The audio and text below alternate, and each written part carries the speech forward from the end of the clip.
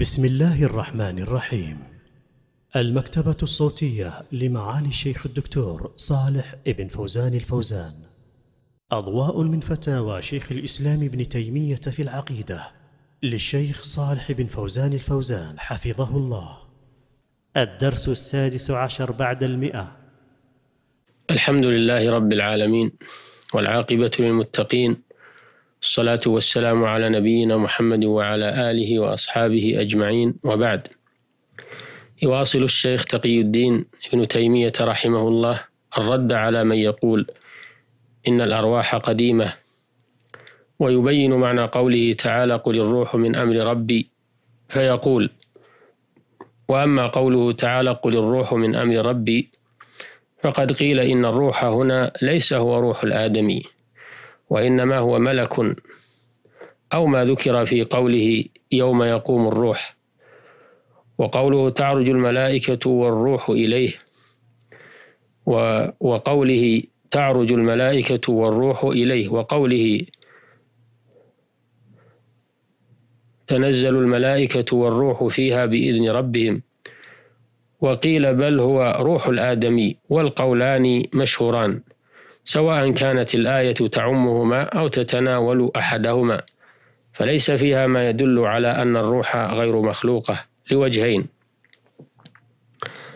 أولا أن الأمر في القرآن يراد به المصدر تارة يراد به المصدر تارة ويراد به المفعول تارة وهو المأمور به كقوله تعالى أتى أمر الله فلا تستعجلوه وقوله وكان أمر الله قدرا مقدورا ولو قيل إن الروح بعض أمر الله أو جزء من أمر الله ونحو ذلك مما هو صريح في أنها بعض أمر الله لم يكن المراد بلفظ الأمر إلا المأمور به لا المصدر.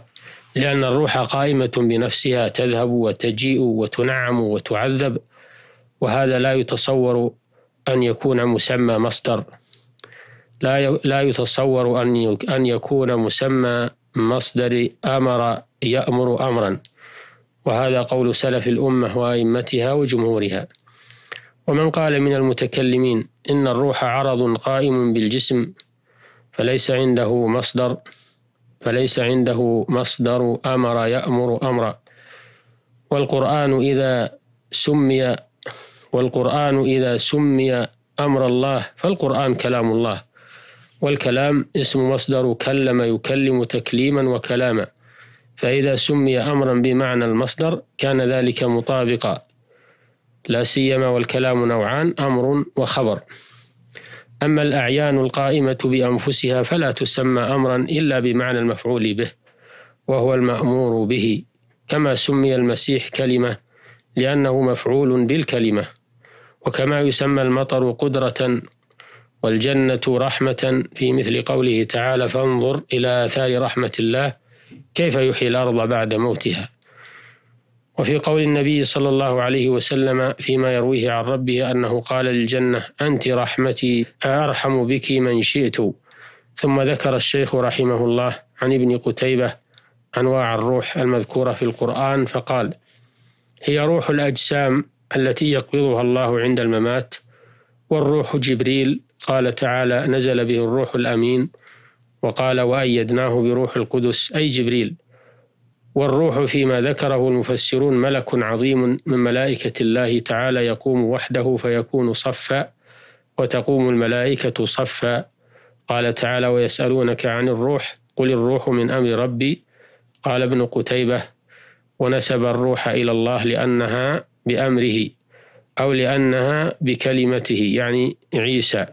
قال الشيخ رحمه الله والوجه الثاني أن لفظة من في اللغة تكون لبيان الجنس كقولهم باب من حديد وقد تكون لابتداء الغاية كقولهم خرجت من مكة. فقوله تعالى قل الروح من أمر ربي ليس نصا في أن الروح بعض الأمر ومن جنسه بل قد تكون لابتداء الغاية.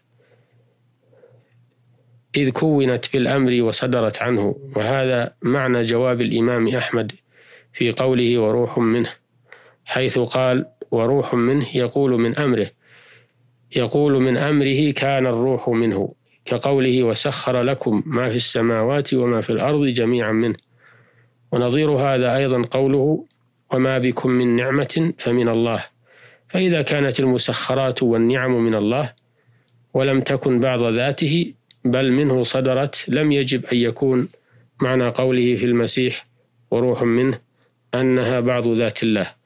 ومعلوم أن قوله وروح منه أبلغ من قوله الروح من أمر ربي.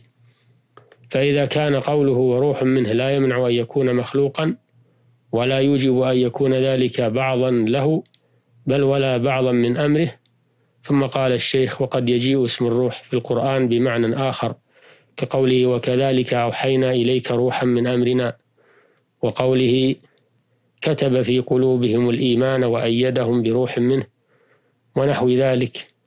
فالقرآن الذي أنزله الله كلامه ثم أجاب الشيخ رحمه الله عن قول السائل عن الروح هل المفوض إلى الله أمر ذاتها أو صفاتها أو مجموعهما؟ فقال ليس هذا من خصائص الكلام في الروح.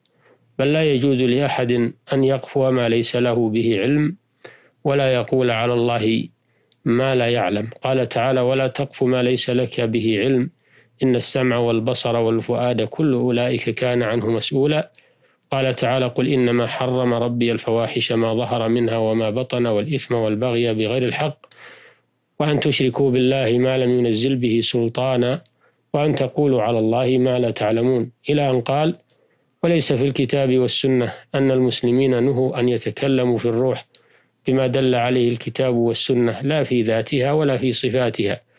وأما الكلام بغير علم فذلك محرم في كل شيء.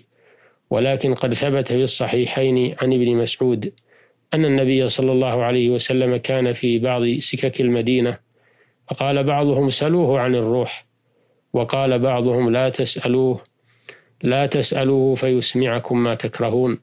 قال فسألوه وهو متكئ على العسيب فأنزل الله هذه الآية. فبين بذلك أن ملك الرب عظيم وجنوده وصفة ذلك وقدرته أعظم من أن يحيط به الآدميون وهم لم يؤتوا من العلم إلا قليلا. فلا يظن من يدعي العلم أنه يمكنه أن يعلم كل ما سئل عنه ولا كل ما ولا ولا كل ما في الوجود. فما يعلم جنود ربك إلا هو. انتهى كلام الشيخ رحمه الله. وملخصه في موضوع الروح أنها مخلوقة وأنها ليست من ذات الله. وأن معنى وأن معنى قوله تعالى في عيسى عليه السلام وروح منه أي من خلقه وأمره. كما في قوله تعالى وسخر لكم ما في السماوات وما في الأرض جميعا منه. فمن هنا ليست تبعيضية وإنما هي لابتداء الغاية كقوله تعالى وما بكم من نعمة فمن الله أي بخلقه وبتقديره وأمره وغير ذلك. وتبين أيضا من كلام الشيخ رحمه الله أنه لا يتعين أن يكون المقصود بالروح في قوله قل الروح من أمر ربي أن المراد بها روح الآدمي لأن الروح في القرآن العظيم وردت بمعان كثيرة وأنه لا يمنع الكلام في الروح الآدمية في حدود ما دل عليه الكتاب والسنة من صفاتها وتصرفاتها وإنما الممنوع القول بلا علم في الروح وغيرها. والله أعلم وبهذا تنتهي هذه الحلقة. فإلى الحلقة القادمة بإذن الله. السلام عليكم ورحمة الله وبركاته.